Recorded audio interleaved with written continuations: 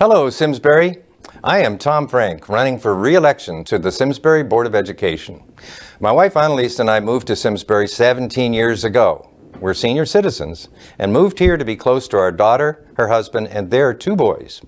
My interest in the school system has its roots in the belief that excellent systems for education are good for our country and the fact that a first-class school system preserves and enhances residential property values here in our town.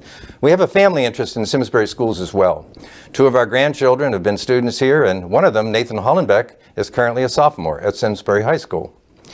I've been a member of the Board of Education for three years, and I hope to be reelected for a new four-year term. My attendance at board meetings has been excellent, and I've been actively engaged in the board's deliberations and its committee work.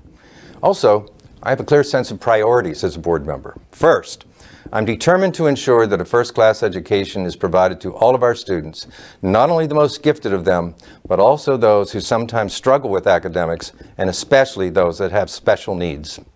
Second, I'm a strong advocate of up-to-date technology and facilities that are needed to provide an educational experience that will serve our young people well as they enter an increasingly competitive and technologically savvy world environment. And third, I am determined to seek efficiencies in the way of doing education so that property tax increases can be minimized and sometimes eliminated. We're already quite efficient compared to other districts in Connecticut, but we can do better. I know we can do a little more with a little less without compromising educational quality. These have been my priorities as an incumbent member of the Board of Education, and they will continue to be my priorities if I am reelected. In closing, I respectfully ask you to consider giving me your vote on November 7th. Thank you.